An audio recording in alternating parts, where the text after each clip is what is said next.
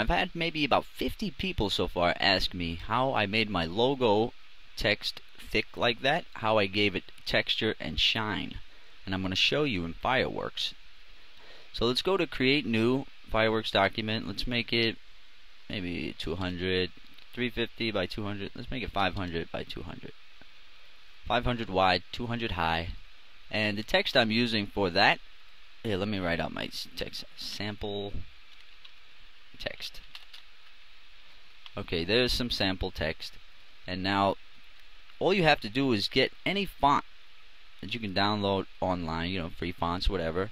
And for this one, I'm going to show you what I use. I have uh, Oliver's Barney, which I love this font. I love it because it's fat and it's thick.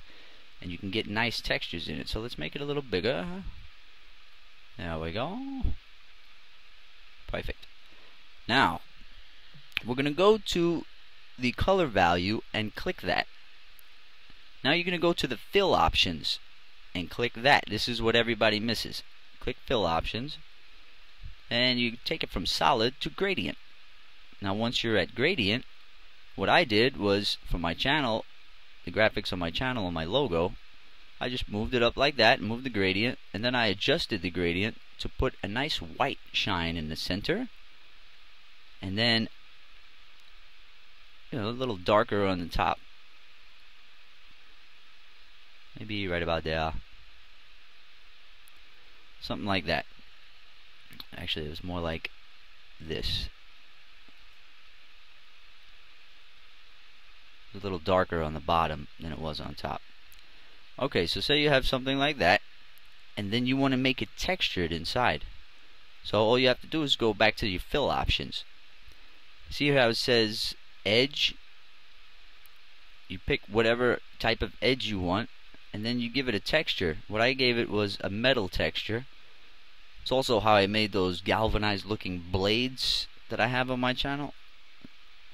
You see these galvanized looking blades? Same effect.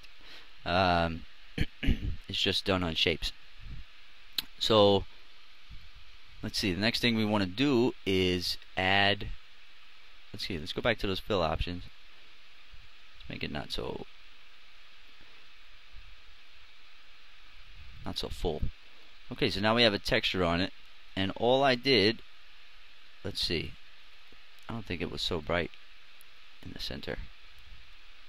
You can change your color values easy. A lot of people don't know how to change your color values easily in fireworks. You can choose any color hues you want. It's so simple. Okay so now let's put an edge on it.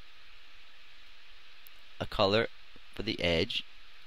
Just to make that edge come out a little more. Not so much not so gray. Right there is about good. Now let's add a filter effect of drop shadow.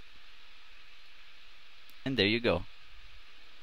That's pretty much how I made that right there. You see? It's just a drop shadow. Textures and gradient and it doesn't look exactly like but you get the idea. That's how you can make texture and you can change it to any texture you like. If you go to back to the color value click it go to fill options and change it from metal to line diagonal. See? Now you got nice sharp smooth diagonal lines on that. It looks really good. And if you make it really dark on one edge you almost can't see the lines and then make it white on top. Where it's white, you won't see the lines, and it'll gradiate. gradiate. Let's move that. See? On top, you can't see the lines, but as it gradiates and gets darker, the lines start to appear. You can do all kind of cool stuff, and you can modify this drop shadow. Turn it. Make it do whatever you want. On my channel, it's about like that. Something like that. But that's how it's done. We'll see you next lesson.